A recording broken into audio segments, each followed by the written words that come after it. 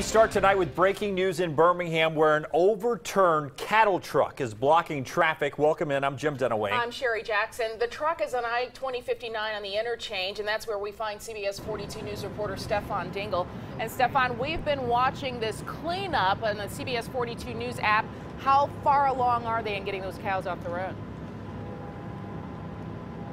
Well, Sherry, right now we're in pretty much a standstill uh, as firefighters just behind me. I'll take a step out of the way. You can see they, they actually brought the jaws of life out uh, to try to cut cut this uh, the back of this trailer open. And if you pan a little bit left, uh, Marlon, you can see the firefighters on top spraying water on the truck. You may wonder why. They're just trying to keep the cattle very calm and cool. Some of the cattle inside, we are told, are dead. Um, they're trying to save as many as possible. They just took the jaws of life away as they're now trying to put the cattle uh, streamline them into the back of that trailer. Uh, the Cowboys of Jemison are the ones that have, that have come here. Uh, we had to wait about 45 minutes for them to come.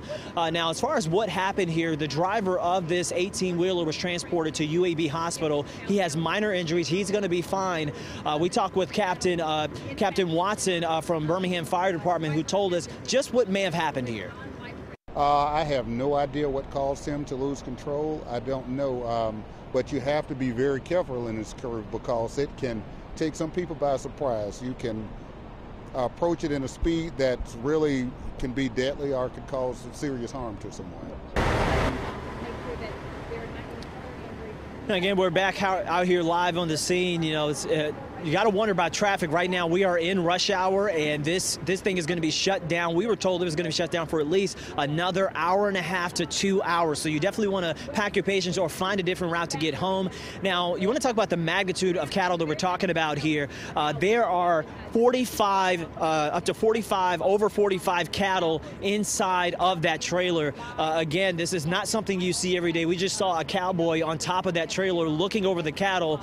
Uh, not something you hear about. Uh, we also saw horses uh, that were also brought here by the Cowboys that were walking here on the interstate. Just a very weird Wednesday. Uh, but again, we'll continue to follow this and we'll co continue to keep you guys up to date here uh, on air and online at Facebook and Twitter. We're live from the interstate. Stefan Dingle, CBS 42 News, local coverage you can count on.